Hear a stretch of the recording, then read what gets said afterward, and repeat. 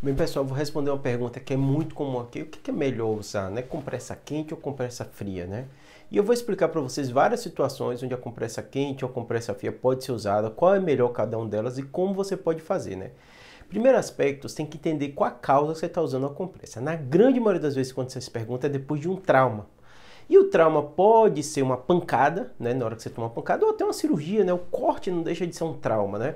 Então, todas as vezes que tem relação com trauma, né, você tomou uma pancada na hora, torceu o pé, tomou uma pancada no futebol, né? O ideal é a compressa gelada. Porque o que, é que vai acontecer? A compressa gelada, ela vai fazer com que uma série de fatores que levam a edema ou inchaço, que depois pode gerar uma piora na sua lesão, não venha. Então, o, o, a compressa gelada ela faz uma vasoconstricção, né? Então, ajuda justamente a evitar esse inchaço pós, ou reduzir um pouco o inchaço pós uma pancada. Então, quando a criança bate, por isso que as pessoas falam né, de colocar alguma coisa gelada no lugar, quando você torce o pé, quando você tem uma pancada, o corte é a mesma coisa, né? Quando o paciente corta por causa de uma cirurgia, a gente tem aquele edema, a gente bota uma compressa gelada ali também para evitar com que aquilo progrida. Claro que você vai conversar com seu médico se for depois de uma cirurgia para ver se é válido ou não é válido, né? Outro aspecto bem importante que vocês têm que entender é que a compressa quente também tem o seu papel, né?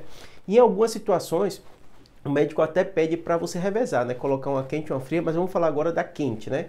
No caso da compressa quente, é importante você entender que a compressa quente ela tem um papel para aquelas doenças crônicas, né?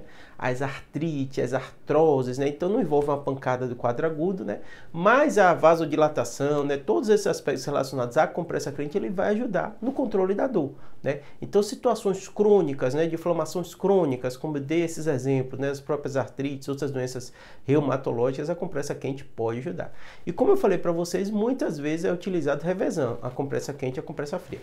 Lembrando, tem alguns detalhes que parecem bobos, mas são muito relevantes. É como você vai usar.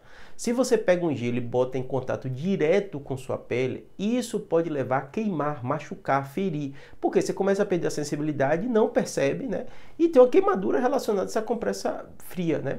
A quente é a mesma coisa, né? Então é sempre ideal que você tenha um recipiente e aí você pode colocar o gelo dentro de um saco e depois enrolar com um pano, né? Porque tem tanto essa questão de não molhar, porque se você bota direto, né, o, o gelo no pano, aquilo pode molhar tudo e pode te incomodar, né? E quando você bota no saco, você já previne isso, né? A mesma coisa a gente fala da compressa quente, não pode colocar diretamente na pele. É bom ter algum pano, alguma coisa envolta ou no saco. Hoje em dia facilita muito porque você tem muitas é, possibilidades de você utilizar compressas específicas para isso, que podem tanto ser esquentadas como esfriadas, né? A mais comum que vocês conhecem é aquela que vende na farmácia, que você bota na geladeira e coloca, né? Tem um tipo um gel, essa é muito boa, mas também tem alguns recipientes específicos para também compressa quente. Se você não puder quiser, ah não, Júlio, vou deixar imerso, ou numa banheira, ou numa, num, num, num balde, alguma coisa desse tipo, fique muito atento à temperatura para não levar queimadura. Não é incomum a gente ver isso. Às vezes o paciente quer ajudar e piora mais ainda, tá bom? Espero que tenha ajudado.